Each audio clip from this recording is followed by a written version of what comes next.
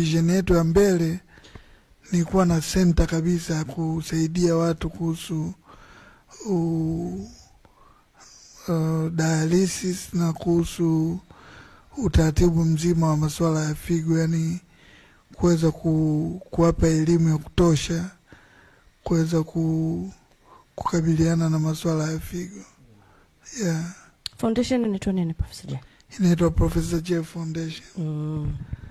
Ya, nimeona jina langu lisitoke pale kwa sababu tumelijenga jina katika imani kubwa kwa Tanzania Ndio.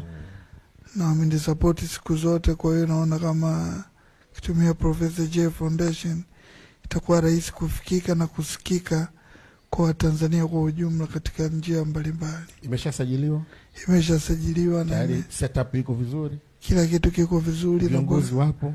Board members wapo vizuri kabisa. mm. Yeah,